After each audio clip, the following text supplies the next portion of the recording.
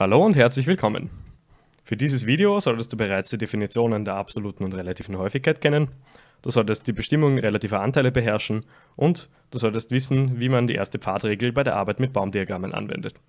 Unser Ziel für dieses Video wird sein, relative Häufigkeiten bzw. relative Anteile in einem Baumdiagramm mit Hilfe der ersten Pfadregel zu berechnen.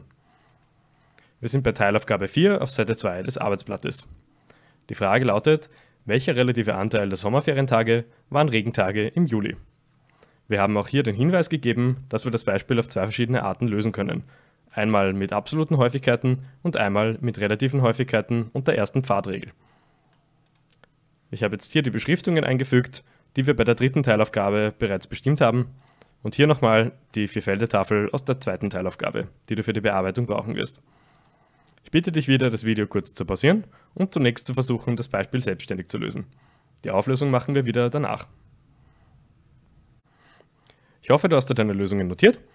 Hier sehen wir jetzt noch einmal das Baumdiagramm in der Mitte und wir wissen ja, es geht um einen relativen Anteil, also um eine relative Häufigkeit, deswegen habe ich hier nochmal die Formel dafür eingeblendet. Wir fangen mit der Arbeit mit den absoluten Häufigkeiten an.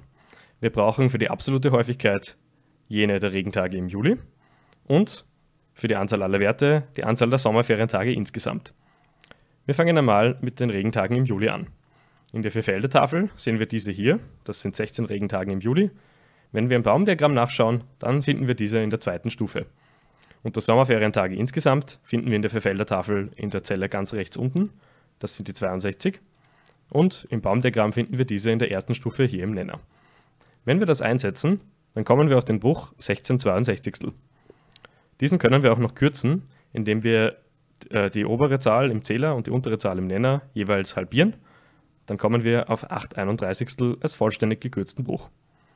In eine Dezimalzahl umgewandelt ist das ungefähr 0,258 und als Prozentsatz 25,8% Jetzt kommen wir zur Lösungsvariante mit den relativen Häufigkeiten und ich habe hier noch einmal die erste Pfadregel, die auch Multiplikationssatz genannt wird, eingeblendet. Diese sagt uns, die Wahrscheinlichkeit von einem Pfad ist gleich dem Produkt der Wahrscheinlichkeiten entlang des Pfades. Das heißt jetzt hier in unserem Fall, dass wir einfach nur die relativen Häufigkeiten entlang des Pfades für die Regentage im Juli miteinander multiplizieren müssen, um die relative Häufigkeit für diesen Pfad zu bekommen. Wir gehen erst einmal in der ersten Stufe hier den erst bei der ersten Verzweigung entlang, 31 62 und multiplizieren das dann mit dem nächsten aus der zweiten Stufe, also mit 16 31. Hier sehen wir sehr schön, dass sich 31 einmal im Zähler und einmal im Nenner wegkürzt. Und dann bleiben uns auch hier 16 62. Und das Ganze gekürzt bzw. in Dezimalzahl und Prozentsatz umgewandelt, würde auf das gleiche hinauslaufen wie hier oben. Und damit sind wir fertig. Ich danke dir für deine Aufmerksamkeit.